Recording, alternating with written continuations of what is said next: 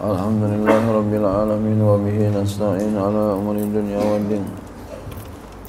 والصلاة والسلام على أشرف الأنبياء والمرسلين سيدنا وحبيبنا وشفيعنا محمد وعلى آله وصحبه أجمعين.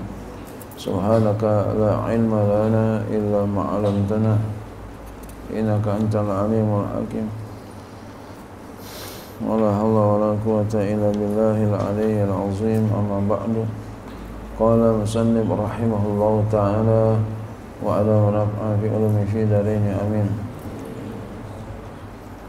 ومن تلك الصور dan di antara demikian itu gambaran-gambaran eh, contoh ya hadis mauquf awalan yang pertama ayaqula sahabi berkata oleh sahabat alladhi lam yu'rab bil akhzi an ahli kitabi. Qawlan la majala lil ijtihadi fihi. Ya, berkata oleh seorang sahabat yang di mana tidak dikenal ya, dengan mengambilnya dari ahli kitab. Ya nggak diketahui itu. Ya jadi bukan ngambil dari ahli kitab. Omongannya ya.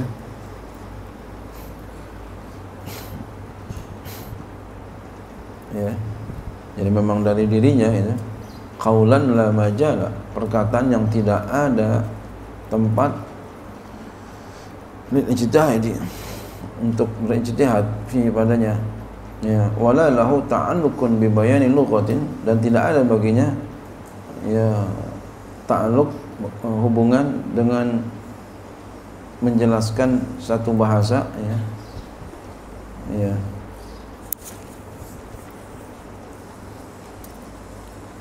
au syar'un gharibun ya au syar'in gharibin ya. ya. atau penjelasan yang gharib ya. ya.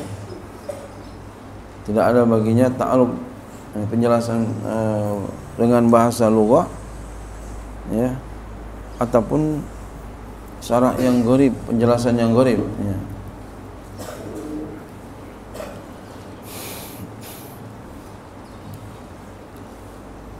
misalnya seperti ya, awalan. Ya ini, ini misal ikhbari gitu. Jadi begitu misal ikhbari anil umuril madiyati kabadil khalqi seperti pemberitaan.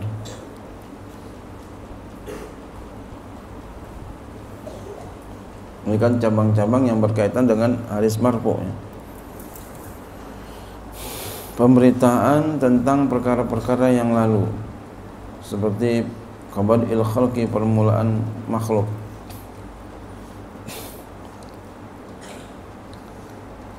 Awil ikhbari ya itu misal ikhbari ya, berarti awil ikhbar ya. atau pemberitaan anil umuril atiyati tentang perkara-perkara yang akan datang. Kal malahimi. Ya seperti malaim ya peperangan yang kejam. Ya banyak membawa korban. Malahim wal fitani dan fitnah-fitnah. Wa awali yaumil kiamati keadaan-keadaan hari kiamat. Ini kalau begini nih eh, marfu nih ya.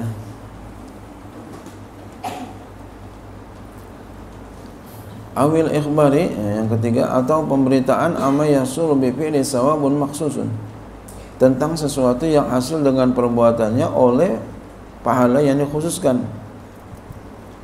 Ya, ada jadi ada pahala yang khusus. Au iqabun makhsusun atau ada siksaan yang dikhususkan. Kakau ini seperti perkataannya man fa'ala kaza falahu min ajri kaza. Siapa yang melakukan demikian maka baginya mendapati daripada pahala ganjaran demikian. Ya. Ya.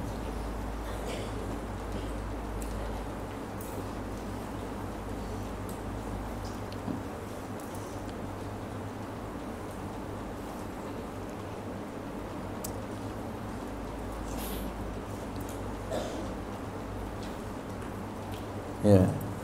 Ini uh, bahwasanya ini termasuk daripada hadis mauquf secara lapas marfu secara hukum gitu ya. Jadi yang mengatakan sahabat sahabat jadi secara lapas tapi secara hukum hadisnya marfu. Kenapa? Karena ada indikasi itu berita yang lalu. Ini kan berarti nabi yang kasih tahu bukan sahabat ya. Kemudian berita-berita perkara-perkara yang berkaitan tentang fitnah keadaan hari kiamat.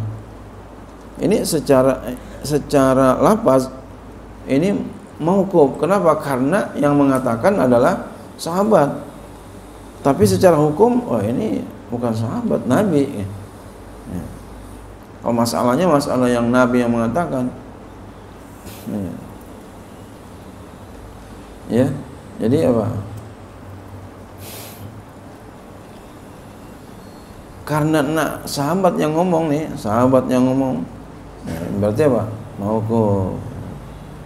Ya, hadisnya mauquf secara lapas.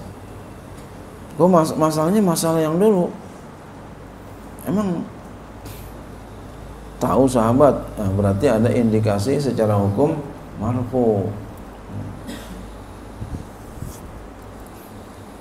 sahabat nggak bohong sahabat itu enggak bohong. Nah, orang-orang sekarang ya yang masalah-masalah goib dia bisa tahu wah ini bisa mengandung khurafat. Ya.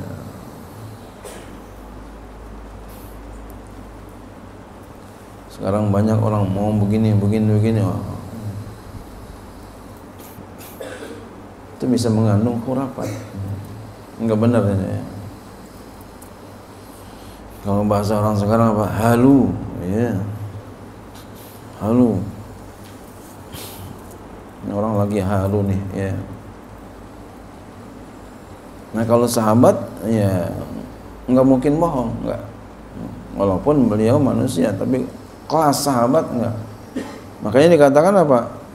Secara lapas hadisnya mauquf secara hukum hadisnya marfu. Ini kan? Dikatakan tadi di atas tuh furu'un tata'allaqu bil marfu hukman. Cabang-cabang yang berkaitan dengan hadis marfu secara hukum. Karena yang begini ini yang tahu bukan sahabat tapi Rasulullah sallallahu alaihi wasallam. Begitu. Yang tahu Rasul tentang perkara yang dahulu Rasul. Tentang fitnah-fitnah. Tentang malahim tentang keadaan hari kiamat. Kemudian tentang pahala ini dapatnya ini. Tentang siksaan ini eh, tentang perbuatan ini siksaan ini. Siapa yang melakukan ini pahalanya ini. Itu sahabat nabi yang tahu itu. Bukan sahabat Memang kalau ada orang kita orang sekarang ngomong siapa yang melakukan ini maka dapat ini, wah itu kurapat. Halu itu maksudnya. Sekarang banyak orang ngomong begitu. Siapa yang ini saya nanti dapat ini, wah itu halu itu.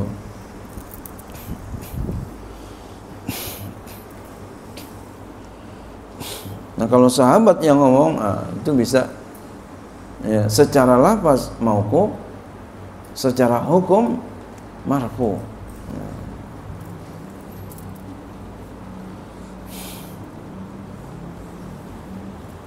Bisa dipahami ya?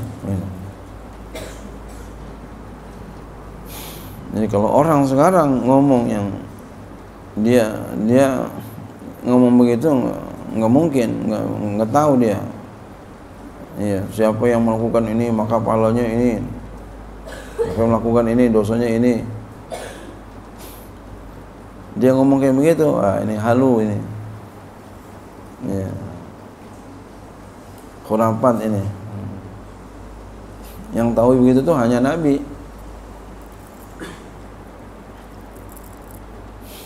Hanya nabi. Siapa yang membaca punya saya entar dapat ini wah. Siapa yang membaca yang dapat ini siapa yang baca wiridan saya nanti dapat ini. Itu yang tahu Nabi. Kecuali di wiridannya ada seperti dia Usama nih ada dalilnya. Dalilnya Nabi di sini dalil hadis Nabi. Boleh kita katakan siapa yang baca ini nanti akan siapa yang baca ini insya Allah nggak kebakaran rumahnya. Kenapa? Karena ada hadis Nabi di sini. Siapa yang baca wiridan ini gitu tapi kalau nggak ada hadisnya siapa yang baca ini maka nggak masuk neraka. Wah. Namanya pak khurafat. Halu. Hmm. ente nggak tahu. Yang tahu siapa? Nabi. Paham nggak maksud saya ini? Hmm. jadi jangan jangan jangan mau dibodoh-bodoh ini ya.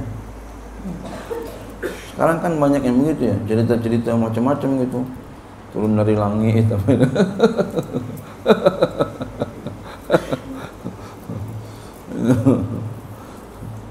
siapa yang baca punya saya nanti ya, dijamin masuk surga. Nah, nih yang tahu hanya Nabi. Hmm, jadi kalau sahabat yang ngomong kayak begitu nah itu benar. Nah, kalau kita yang ngomong salah ya. Halu bahasa orang sekarang tuh ya khurafat nah, kalau sahabat, sahabat yang ngomong secara lapas itu mau beliau yang mengatakan secara hukum hadis marfu. Begitu. Sanian yang kedua ini yang kedua termasuk dalam kategori hadis yang marfu mauquf secara lafaz marfu secara hukum au yaf'alu sahabiyu atau au ya yaf'ala ya au yaf'ala sahabi melakukan oleh sahabat ma la majala sesuatu yang enggak ada tempat dari ijtihad fi padanya enggak ada ijtihad. Ya tadi kan enggak ada ijtihad. Kasolati Ali radhiyallahu anhu seperti salat yang sedina Ali radhiyallahu anhu salat al-khusuf yang akan salat khusuf. Gerhana. Fi kulli raq'atin aksara min min min ya ruku'ain.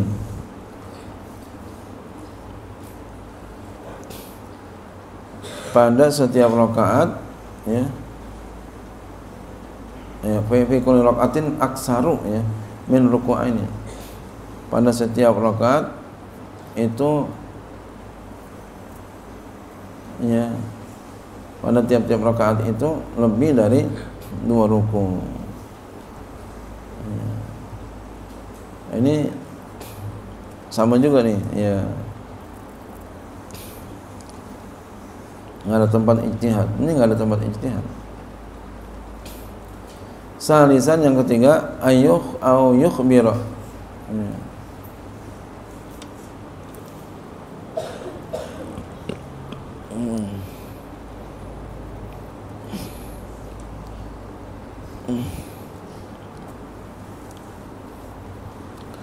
Au yukhbiru ya. Oh ya. Apa? Ayukhbira, ayukhbira, au yukhbira atau memberikan berita as-sahabi oleh sahabat ke atas sana semuanya ayakula as-sahabi dia memberitakan oleh sahabat annahum bahwasanya mereka kanu adalah yaquluna berkata au yaf'aluna kaza atau melakukan demikian au la yarawna ba'san bi kaza atau mereka tidak melihat ya enggak ngapa-ngapa dengan demikian ya. awalan fa in adafahu ila zamanin nabi ya. ya maka jika ia sandarkan akan dia akan kisahnya akan apa yang ia katakan ia perbuat ya, ia lihat. Dia sandarkan kepada zaman Nabi sallallahu alaihi wasallam fasahihu annahu marfu'un. Maka yang sahih bahwasanya itu marfu. Ya, kalau disandarkan zaman Nabi wah dia marfu. Ada kaitannya. Ah, ke zaman Nabi marfu. Contoh kakau Jabir seperti perkataan Jabir kunna na'zilu ala ahdi Rasulullah sallallahu alaihi wasallam Ini cerita orang suami istri tapi nggak pengen punya anak. Suami istri nggak pengen punya anak. Kami melakukan azal ya pada masa Rasulullah Sallallahu Alaihi Wasallam. Jadi dia ini suami istri melakukan hubungan badan, ya keluar spermanya itu di luar, namanya azal ya, nggak punya dia pengen punya anak dulu gitu. ya ini dalil orang yang bolehin dalil orang yang bolehin azal Sanian yang kedua wa illam yudif ila zamani fa huwa mawhubun ila jumhur. Dan jika dia tidak sandarkan kepada zaman Nabi wasallam maka dia mauquf indal jumhur menurut jumhur. Kakol Jabirin sampai perkataan Jabir kunna adalah kami idza sa'idna kabirna kabarna apabila kami naik maksudnya berjalan mendaki. Apabila kami naik berjalan mendaki kami bertakbir. Wa iza nazzalna dan apabila kami ya menurun jalannya menurun ke bawah ya. Sabahna kami bertasbih. Ini kalau kita mau naik ke mana gitu kita takbir. Allahu Akbar Allahu Akbar Allahu Akbar. Kalau turun ya kita turun ke bawah ya kita bertasbih. Subhanallah Subhanallah Subhanallah. Ini uh, adab kita kepada Allah Subhanahu wa taala Allahu Akbar, Allahu Akbar. Naik, naik. Jalan naik, jalan naik, kita turun.